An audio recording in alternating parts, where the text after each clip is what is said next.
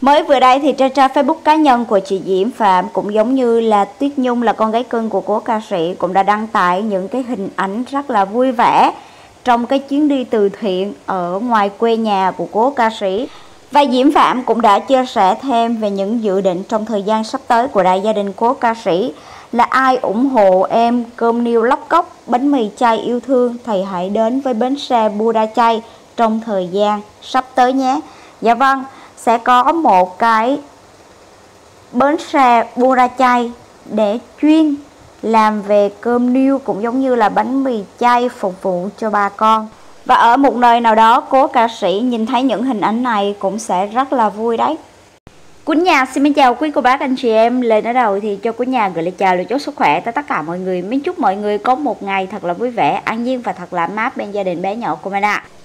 Trong cái đêm chung kết vào tối ngày 17 tháng 7 của năm 2016 khi mà MC lên tiếng để thông báo rằng là anh cờ đã trở thành quán quân đầu tiên của chương trình và cả trường quay lúc đó vỡ òa trong tiếng hò reo và chúc mừng và chưa kể rằng, ở một diễn biến khác tại ngoài miền Trung thì cố ca sĩ đang xen với niềm vui lẫn những cái cảm xúc vỡ òa. Và trước khi mà diễn ra cái cuộc thi đêm chung kết vào năm 2016 thì cố ca sĩ đã từng lên tiếng để kêu gọi phía bên fan của mình ở ngoài miền Trung có thể là nhấc điện thoại lên, nhắn một cái tin nhắn để có thể là gửi đến tổng đài bình chọn cho người con nuôi của mình. Và đặc biệt hơn nữa là tại đào cầu Sài Gòn, những thực khách đến với nhà hàng Buddha Chay cũng giống như là đại gia đình của cố ca sĩ, được cố ca sĩ truyền một cái thông điệp rằng là hãy cố gắng dành một ít thời gian để bình chọn cho anh cờ, để anh ta sớm đoạt giải quán quân đó quý cô chú anh chị. Và chưa kể rằng là trên trang Facebook của cố ca sĩ cũng đã gửi đến một cái thông điệp cho tất cả những người fan mến mộ của cô ấy trong nước và ngoài nước. Hãy cố gắng để có thể là giúp đỡ cho anh cờ cơ. Và ngay kể cả anh cờ cũng không tin được rằng là anh ta lại có thể là đoạt giải quán quân cơ mà lúc đó anh ta còn trả lời như thế này, vì em vui và bất ngờ quá Em không nghĩ là mình sẽ đoạt giải Em không dám tin đó là sự thật Dạ vâng đó sẽ không bao giờ trở thành sự thật nếu như không có sự giúp đỡ của cố ca sĩ và đội ngũ fan hùng hậu của cô ấy. Và tất nhiên rằng là tại thời điểm vào năm 2016 thì cái xác suất khi anh cờ có cơ hội chiến thắng nó chỉ là 50%. Còn 50% kia là dành cho rất là nhiều thí sinh. Có giọng hát rất là hay và đặc biệt hơn anh cờ gấp trăm lần. Và chắc quý cô chú, anh chị em vẫn còn nhớ cái bài hát mà anh ta thể hiện trong cái đêm chung kết đó là bài bà năm. Mà nhắc đến bài bà năm thì ai ai cũng đều nhớ, đó là cái bài ruột của cố ca sĩ. Và trước khi anh ta bước chân vào cái đêm chung kết này, cố ca sĩ đã phải cố gắng để giúp đỡ cho anh ta thể hiện cái ca khúc này thành công nhất cảm xúc nhất. Vì vậy, cố ca sĩ đã nhờ nghệ sĩ phi điểu đến để có thể là hòa mình tạo ra một cái không khí thật là ấm áp chứa đựng biết bao nhiêu là cái cảm xúc để lấy đi cái tình cảm yêu thương của tất cả mọi người và để cho người con nuôi của mình thể hiện cái ca khúc này thành công đó quý cô chú anh chị và thật sự là cái bài hát này, nó đã không nằm ngoài dự đoán của cố ca sĩ. Nó đã lấy đi nước mắt của rất là nhiều người có mặt trong trường quay. Tối đêm ngày 17 tháng 7 của năm 2021 thứ nhất, không phải là vì giọng hát quá là hay hay là xuất thần nhưng mà vì người ta đã có một cái hiệu ứng từ trước rồi, là anh cờ là một cậu bé ở dưới miền quê lên trên Sài Thành và có một cái cuộc sống rất là khó khăn và cái mơ ước của anh ta là có thể học cho đến năm cấp 3 và trong cái bài hát này, khi mà có nghệ sĩ phi điểu thì nó làm cho cái khung cảnh của cái bài hát, cái cái cái khán phòng, nó trở thành một cái câu chuyện rất là buồn và có thể là lấy đi biết bao nhiêu là cái sự yêu thương của tất cả quý vị khán giả có mặt trong trường quay cũng giống như là đang xem ở màn hình nhỏ đó quý cô chú anh chị. Đó là một trong những cái đặc điểm mà cố ca sĩ đã từng dự đoán trước. Và cô ấy đã làm hết mình để có thể giúp đỡ cho anh cờ. Và tất nhiên rằng là cái giải quán quân vào năm 2016 không chỉ rằng là cố ca sĩ kêu gọi một đội ngũ fan hùng hậu của cô ấy giúp đỡ cho anh cờ không đâu, mà về mặt tinh thần cũng giống như là về mặt để có thể là thể hiện cái ca khúc đó thành công cũng là một tay của cố ca sĩ giúp đỡ. Và sau khi mà anh ta biết được rằng là anh ta sẽ đoạt được cái giải thưởng là 200 triệu đồng quán quân, thì anh ta đã chia sẻ như thế này nè. Và mình nghĩ rằng là nếu như tại thời điểm lúc đó mà cố ca sĩ không để anh ta ở lại trên Sài Thành, thì chắc có lẽ bây giờ anh cờ là ai? FC của anh cờ còn không biết nữa chứ đừng có nói gì là hâm mộ và thần tượng anh ta nghe và anh ta đã từng nói như thế này là anh ta sẽ để dành số tiền 200 triệu đồng đó để có thể là đi học và đưa cho mẹ ruột của anh ta. Và cái ước mơ, cái mong mỏi lớn nhất của anh ta ngay tại thời điểm lúc đó là được học đến hết cấp 3. Và anh ta có chia sẻ thêm là anh ta sẽ không còn vất vả để đi hát đám cưới để kiếm tiền phụ cha mẹ nữa. Có nghĩa rằng là cả gia đình của anh ta sẽ phụ thuộc vào số tiền 200 triệu đồng quán quân, trừ đi 20 triệu là còn 180 triệu đồng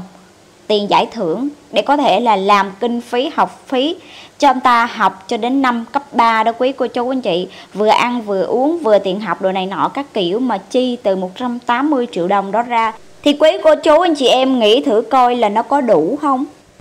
Và khi mà phóng viên hỏi anh ta rằng là anh ta sẽ làm gì sau khi cuộc thi này kết thúc thì anh ta đã trả lời là em sẽ về quê với ba mẹ và tiếp tục đi học. Và khi phóng viên hỏi lại một lần nữa là em có tiếp tục đi hát hay là không? Thì anh cờ anh trả lời như thế này. Em sẽ đi học, khi có thời gian rảnh thì em sẽ vẫn phải đi hát đám cưới và đám ma nha quý cô chú, anh chị. Chứ không phải là đi hát event rồi này nọ các kiểu đâu. Đã nói khi mà về quê rồi thì ai còn nhớ đến tên tuổi của anh ta mà để mà đi hát. Chỉ có đi hát đám cưới hay là đi hát đám ma người ta mời thì đi hát kiếm vài trăm nghìn về lo kiếm kế sinh nhai thôi mà ngay tại thời điểm lúc đó, nếu như không có cố ca sĩ giúp đỡ, thì chắc chắn rằng là hiện tại bây giờ 180 triệu đồng nó có đủ để có thể là lo cho anh ta ăn học hay là không.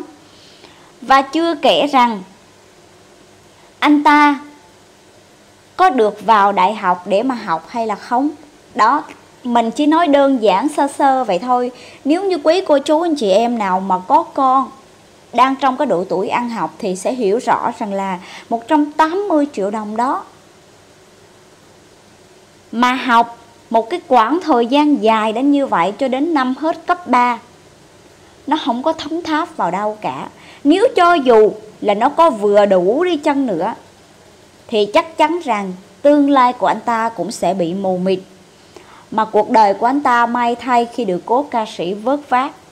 Cô ấy vớt vát không những là một mình anh ta không đâu mà cả gia đình của anh ta là anh ta không cần phải lo, không cần phải nghĩ về cơm áo gạo tiền.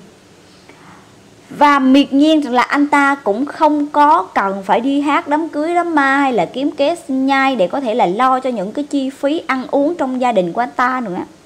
Cho nên rằng là mình mới thấy được một cái sự cao cả của cố ca sĩ là như thế nào. Vì tại thời điểm lúc đó có biết bao nhiêu người người ta chứng kiến cái câu chuyện của anh ta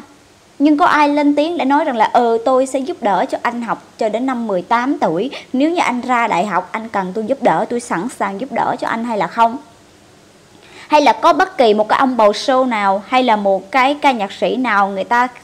nói rằng là ừ tôi sẽ cố gắng để có thể là giúp đỡ và cưu mang anh ta để giúp đỡ cho anh ta đứng vững trên cái sự nghiệp ca hát hay là không? Khó lắm quý cô chú, anh chị em ơi. Nếu như không có cố ca sĩ thì tất nhiên rằng là tên tuổi của anh ta cũng sẽ bị mù mịt. Tại vì mình hiểu rất là rõ, anh ta đi thi cái quạt cuộc thi vào năm 2016 chỉ qua rằng là anh ta muốn kiếm một cái số tiền để có thể là về trang trải và thực hiện cái ước mơ của anh ta. Đó chính là học cho đến năm lớp 12. Đơn giản rằng là một cái câu chuyện của một gia đình ở dưới miền quê, nó chỉ là quanh quẩn ở dưới quê thôi. Nhưng mà từ khi gặp cố ca sĩ thì cuộc đời của gia đình họ đã chuyển qua một cái trang mới. Mà ngay kể cả cố ca sĩ cũng không có ngờ rằng là cái gia đình thuần nông ngày xưa ấy, nó đã bị biến chất rồi. Tại vì cái suy nghĩ của người ta, nó còn kinh khủng hơn những điều mà chúng ta đang nghĩ là họ có một cái ước mơ xa vời vợi, là có nhà trên thành phố Hồ Chí Minh con cái của họ sẽ là ngôi sao đồ này nọ các kiểu. Người ta mơ mộng nó cao hơn so với cái thời mà người ta nghĩ rằng là 200 triệu đem về quê để có thể là kiếm kế sinh nhai, lo cho cái cuộc sống gia đình đơn giản vắn gọn trong 180 triệu đồng. Còn khi mà về với cố ca sĩ thì à, cái lòng tham của con người nó cao hơn cao hơn. Mà ngay kể cả cố ca sĩ hay là đại gia đình của cố ca sĩ, những cái người mà đã từng giúp đỡ và cưu mang anh cờ cũng không có ngờ được những điều đó luôn đó quý cô chú anh chị. Cho nên rằng là càng nói càng nhắc về những cái mẫu chuyện như thế này là để cho tất cả những người mà thương cố ca sĩ biết rõ rằng là từng cái cung bậc, từng cái cột mốc thời gian, nó đều minh chứng rõ ràng cho một người mẹ vĩ đại là một người đào tàu vững chắc cho biết bao nhiêu cái thế hệ mai sau. Và gia đình của cố ca sĩ luôn là một gia đình sống có nề, có nếp, có trước, có sau, chứ không có ai mà phủi ơn, bội bạc giống như đại gia đình của anh cờ đâu. Cho nên rằng, ta nói gieo nhân nào thì gặp quái, không sớm thì muộn, cũng sẽ trở thành những con người không bao giờ mà ngóc đầu lên được. Ok, cái đoạn video này của Quýnh Nhà thì xin kết thúc tại đây. Mình chúc mọi người luôn dồi dào sức khỏe, bình an và vạn sự như ý. Cảm ơn mọi người đã luôn lắng nghe cái đoạn video này của Quýnh Nhà nhé. Nếu thích thì các bạn có thể like, share, subscribe để ủng hộ cho Quýnh Nhà. Mến chào mọi người và hẹn gặp lại ạ.